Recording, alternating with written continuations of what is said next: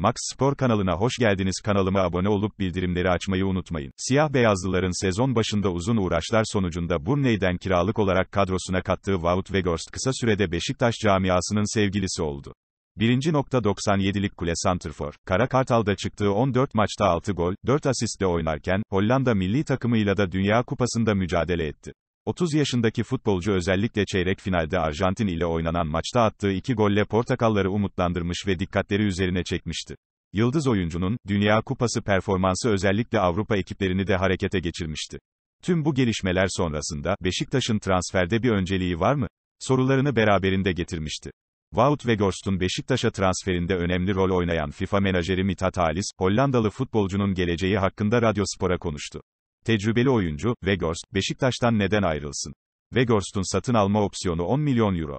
Bunu ödeyip, sözleşmesini uzatınca dedikodu kalmaz. Weghorst, Beşiktaş'ta kalmak istiyor. Taraftar da onu istiyor. Beşiktaş bu parayı ödeyemeyeceğini söylerse, o zaman durum değişir. Bu parayı başka bir takım ödeyebilir.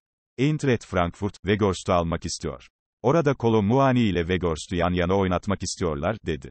Alman ekibinin hocası Oliver Glasner'in özellikle Weghorst'u çok istediğini dile getiren Halis, Muani de Fransa milli takımının santroforlarından.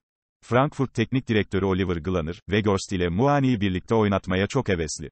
Beşiktaş, opsiyon maddesini kullanmazsa, Frankfurt bu parayı öder, Weghorst'la da anlaşır. Ama Beşiktaş'ın bu konuda önceliği var, 10 milyon euroyu ödediği takdirde, hiçbir dedikoduya mahal bırakmadan oyuncu Beşiktaş'ın olur, ifadelerini kullandı.